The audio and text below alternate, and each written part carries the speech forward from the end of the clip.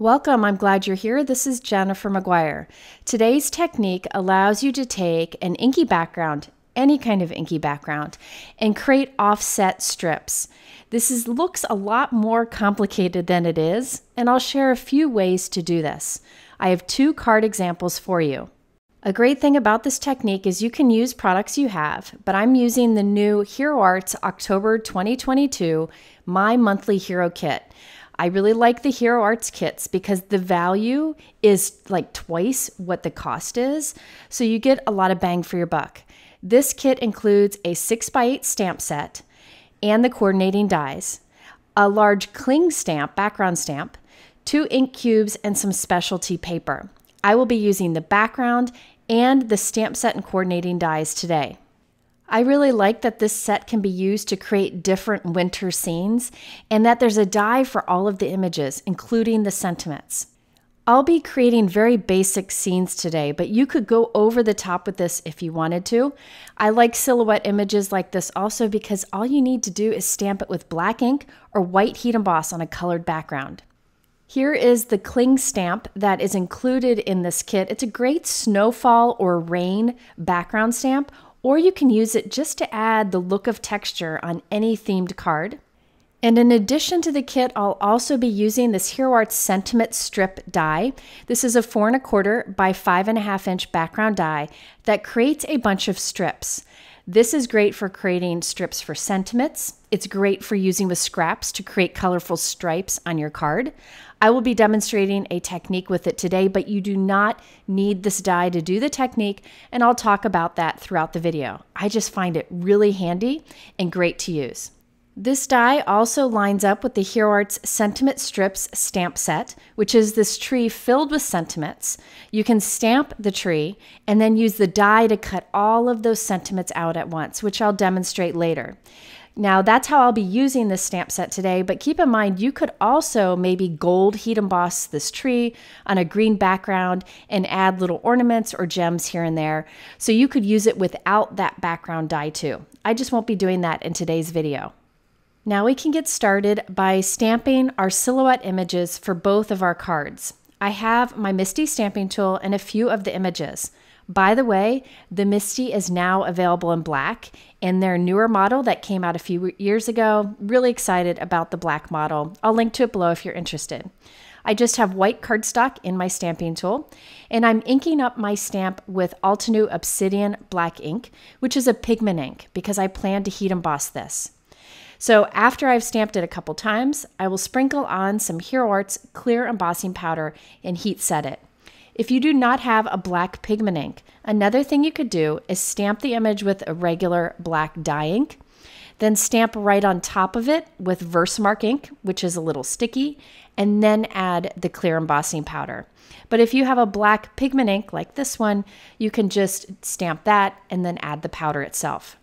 Now I'm stamping a few others here. Notice I have a little pressure tool that I press over my stamping tool. You don't need to have a tool like that, but a pressure tool is helpful with solid images like these. This is a new one from Pinkfresh Studio, but anything heavy and smooth would work. Now I'm doing these silhouette images in black, but another fun thing you could do is white heat embossed directly on a colorful background.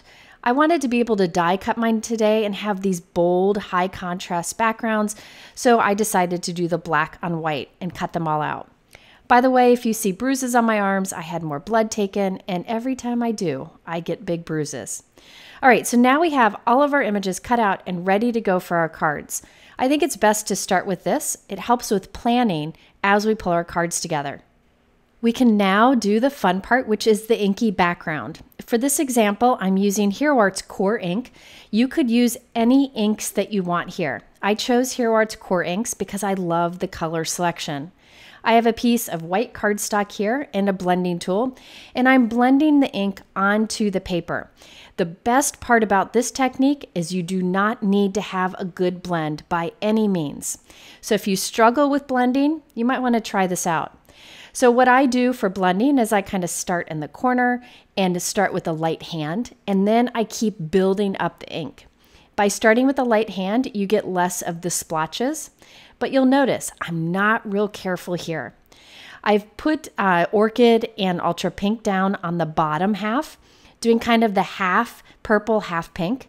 And then above that, I'm doing two colors of blue, Summer Sky and Stonewash, kind of doing half one color, half the other. This technique works best if you have kind of different areas of color. It makes it more dramatic. So I have these four areas of color here, and it'll really make the technique stand out. Notice I'm not doing a lot of blending here. I'm just putting down as much color as I want. You could go heavy or light, it doesn't matter at all. Now here I accidentally took my blue blending brush to my pink ink pad and it left a mark on the ink pad. Don't worry if that happens, your pink ink will work just fine. Now if you struggle with blending inks and you want an ink very easy to blend with, I do recommend Hero Art's oxide inks. Those are great, but you again can do this technique with any dye ink as I did. Next, I want to create those strips or those stripes in the background. You can do this with a trimmer. I'll talk about that later, but I'm going to use that background die that I showed you earlier to make it so much faster. So I have my background die and I'm taping it onto my inked background, which by the way, I didn't completely cover because I'm not using the whole piece. I'm just using a little tape to tape it on there and then I'll run it through my die cut machine. I do recommend running any dies offset on your plates. Notice how I've put it offset. I'm not running it through straight. Especially when your die is large and has straight lines, it's best to go at an angle instead of straight on. It'll prevent warping of your plates and that loud cracking noise. Now I'm taking those plates off and I'm keeping everything together and I'm sliding the top plate off. So you can see all of those pieces, all of those strips are still in my die. I'm putting some temporary tape over that and pressing down so the tape comes in contact with the cardstock behind it. That'll keep them all in that background die. I will then flip it over and put tape on this other side. This connects all of those strips, which makes this technique, technique much faster to do. There are a few ways you could keep all these pieces together, but I found this to be the most effective. I'm using Spellbinder's Best Tape Ever, which now comes in three thicknesses. I'm using the two bigger ones here, and it is great for temporary techniques like this. Now I can remove the tape from the front and pull all my strips out, all connected. Such a big time saver. At this point, I thought it'd be fun to add that background stamp. I could have done it before I die cut, but I didn't think of it at the time. Now I have in my MISTI stamping tool the Brutus Monroe Pink Stick and Stamp Mat. He's come out with a pink version to help raise money for women who have breast cancer so that they can get new wigs. So I will put a link to that below. Great cause. And it holds my paper, my background here in place as we stamp on it. I'm stamping with that background stamp with white pigment ink. This will be very faint on here. If you want bold white, you could do white heat embossing, but white pigment ink gives a beautiful, soft kind of um, highlighted look, or in this case, kind of a snowfall look. Now, again, I could have done this before I did the die cutting. I just didn't think about it at the time. Later, I'll show you, you can do it after we do the technique. So stay tuned for that. All right, so now I can take this background off and it's ready for the fun technique. Now this is super easy. Remember I have the tape on the background holding the pieces together. I am just taking every other strip off and rotating it. Now at this point I realize the white pigment ink is still wet, so I'm going to heat set it and give it a little bit of time to dry. Didn't want to uh, kind of smear that as I do this. But all I'm doing is taking every other strip off and rotating it. And look at the cool pattern that you get. So that tape on the back is just holding all the strips together, making this technique much faster. However, if you don't have a die like this, you could take an inky background, cut it into strips, just like quarter inch strips using a trimmer, and lay them down onto tape up, up against each other, very close to each other in order. And then you can do this technique where you flip every other one. So you can do this with your trimmer too. It just will take a few more minutes. And look at that cool background. I have a piece of white cardstock here, just something thin and lightweight. putting glue on it, and then I'll just lay my whole background onto it, including the tape. No sense taking the tape out, no one will ever see it. Then I can use my trimmer to trim off the edges just to give it a nice clean look. I end up trimming mine to be about three and three quarter inches wide, which is a little narrow for a typical A2 card, but that's the look I'm going for, which you'll see in a moment. The last piece we need to create before putting our card together is a sentiment.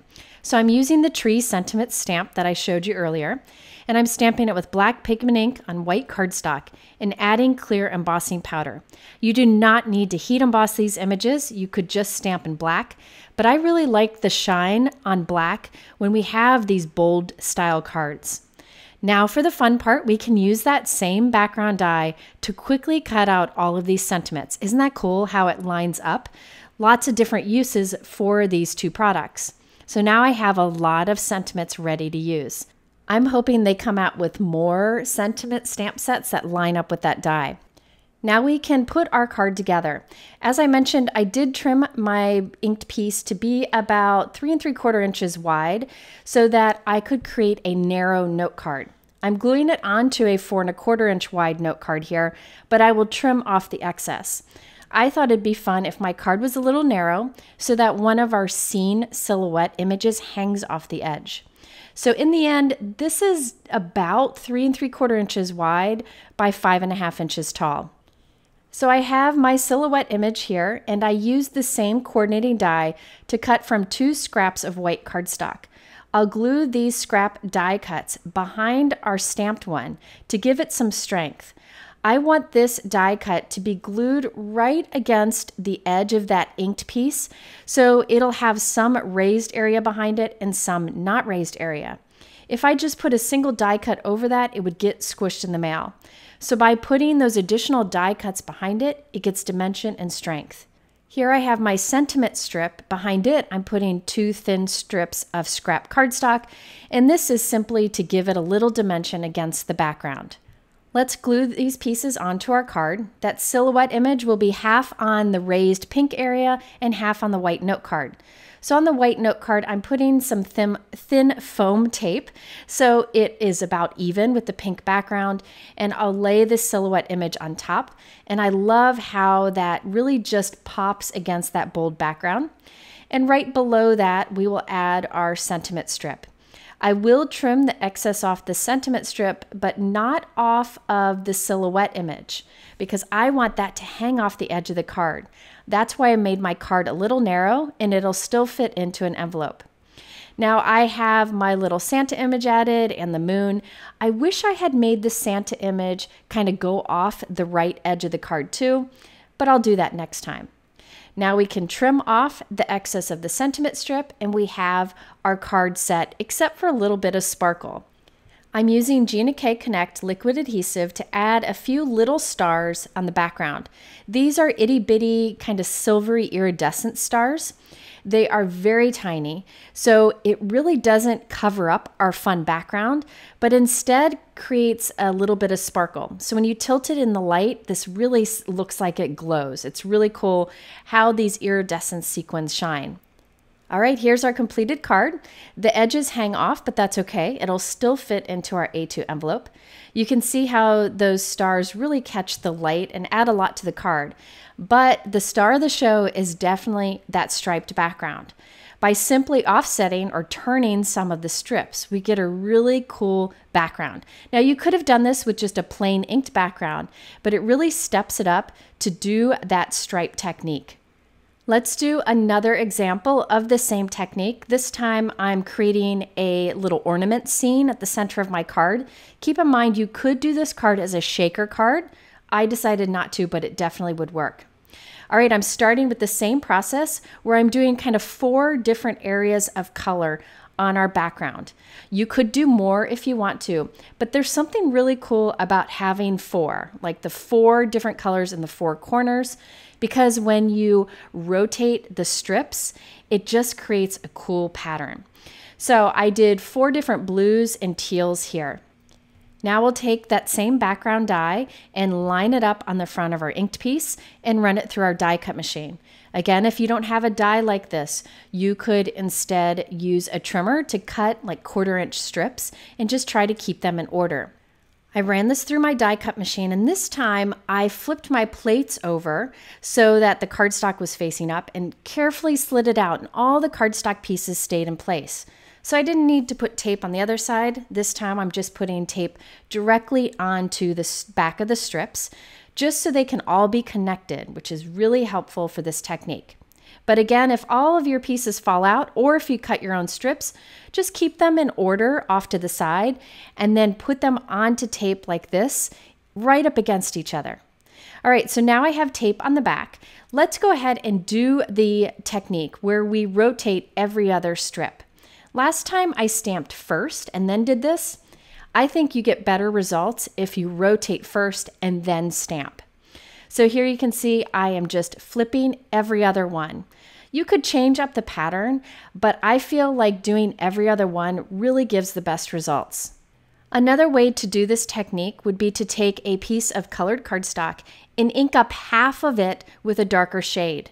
Then do the strip cutting and alternate every other, and you'll get a similar effect, but with just the two colors.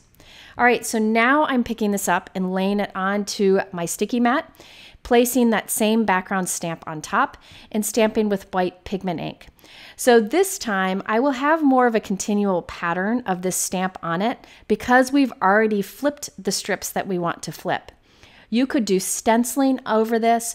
You could do any background stamp that you want. Again, it's best to do the stamping after doing that flip technique. I didn't think about it earlier. So now we have our background done. For this card, I'm also using the Hero Arts Infinity Bulb Ornament die set, which I've used a lot off screen this year. I like that I can cut anything into an ornament. I'm using the largest ornament for this card. I thought it'd be fun to make the stripes kind of go at a diagonal on this instead of horizontal. You could make it vertical if you wanted to. Here I'm trimming off some of the excess because I thought I was going to make a shaker card, but I changed my mind. So you definitely don't need to trim this. Just make sure your background fits in the ornament. All right, next I have a piece of white cardstock that is four by five and a quarter inches, a little bit smaller than the card I plan to create. I'm taping that ornament towards the top center of that background, as centered as I can get, and running it through my die cut machine. For a sentiment, I'm using the Hero Arts North Pole Express stamp set.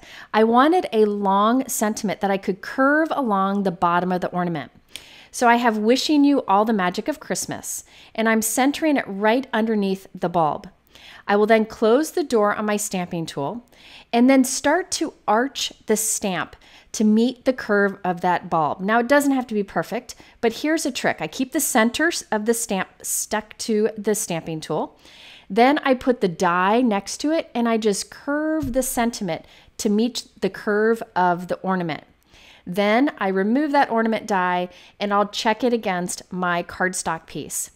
If you see that it's too close in an area, you can kind of um, adjust it a little bit, but it's really not that hard to do and a great way to get more from your long sentiments. I had stamped that with a black pigment ink, so I'll add some clear embossing powder and heat set it. Next, let's create the pieces to fill the ornament. I have a piece of scrap silver cardstock and I'm cutting the top of our ornament. We only need the top area.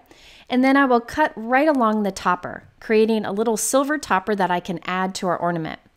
I also cut off the top of a white die cut so that I could glue that behind the silver so it would have a bit of dimension. But you definitely don't have to do that. You may notice on my card that the blue striped ornament is kind of set back from the white frame around it. I did that by creating two additional die cut pieces. These pieces are a bit smaller than our background, so I'm cut these to be about five by three and three quarter inches. From the center of these two pieces, I'm cutting that same ornament. These two white pieces will get glued behind our main ornament piece over on the left. This is simply for dimension. It serves no other purpose but to look nice. You could use foam tape here if you wanted to, but I find that this is um, better results in the end. I don't have to worry about my card getting squished in the mail. And I didn't waste the foam. I instead used some scrap white cardstock. I could have just glued the blue striped inked piece behind this opening, but instead I used the same ornament die to cut, and I cut it at an angle. Now I can glue my layered frame piece onto a four and a quarter by five and a half inch top folding white note card. And inside of the opening, I can glue our striped piece. I just like to take a paper piercer and really push it down into the crevices so that it really is set back inside of that white frame. Now we can glue our little ornament topper up uh, there on the top area, just using strong liquid adhesive so nothing comes apart. I chose two of my silhouette images to tuck into that ornament opening, cutting off where I need to and gluing in place. I thought it'd be fun to have a bow on top of the ornament, so I used the bow that comes with the Hero Arts Holly Berries stamp and die set. This is sold as a combo, lots of great sentiments. There are two great leaf images there, and that bow is fantastic. I cut it from Hero Arts white glitter cardstock and I glued it right at the top of our ornament. So I did also add a few of those itty bitty stars, the same ones I used earlier, and I put those in that little sky background with that stripe technique. Here's a closer look at that cool offset stripe.